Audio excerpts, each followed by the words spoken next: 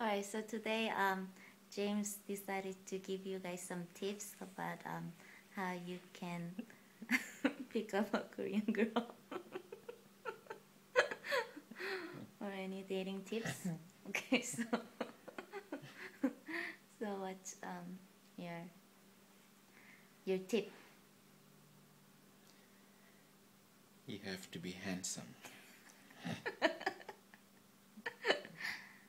But that's not just to Koreans. Probably it might be to all other women too. Yeah. You have to be handsome to have a woman.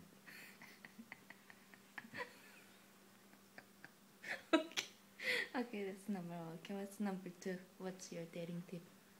Number two. Number two was I was black.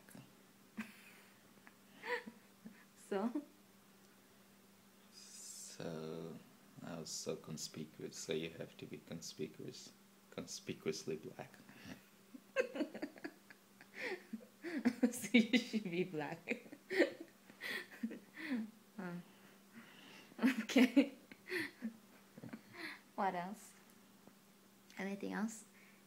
Is there anything that you want to tell people, you know, who's seeking for some tips when they're dating some Korean women? You have to be gentle. Gentle? Mm. How gentle? Very gentle. Yeah, in what way? In what all way? ways. Always hugging them, kissing them. Mm.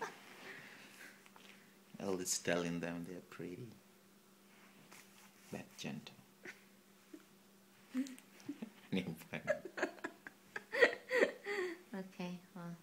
Obviously James was not ready, so this is a horrible tips. But yeah, maybe I hope it helped you guys in a way. But yeah, it was really horrible. So just don't listen to him, okay? right, bye. And I look really horrible actually.